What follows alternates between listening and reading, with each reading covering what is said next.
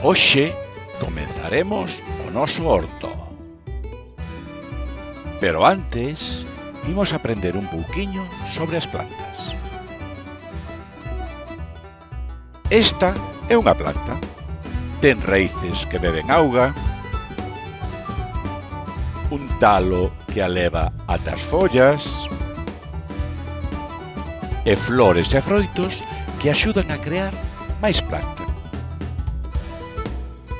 hai moitos tipos de plantas diferentes. Podemos clasificalas polo seu talo, polas súas follas,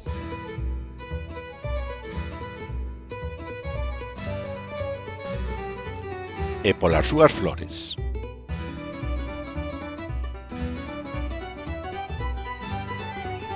as plantas, crean novas plantas con axuda de insectos como as abellas.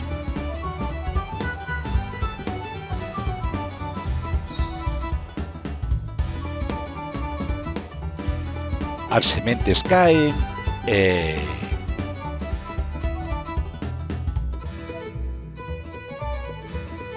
crece unha nova planta.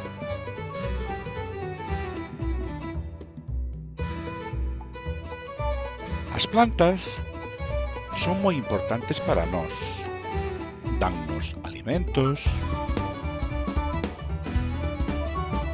materiais como a madeira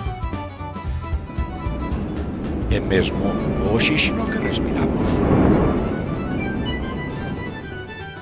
E tamén son o fogar de moitos animais.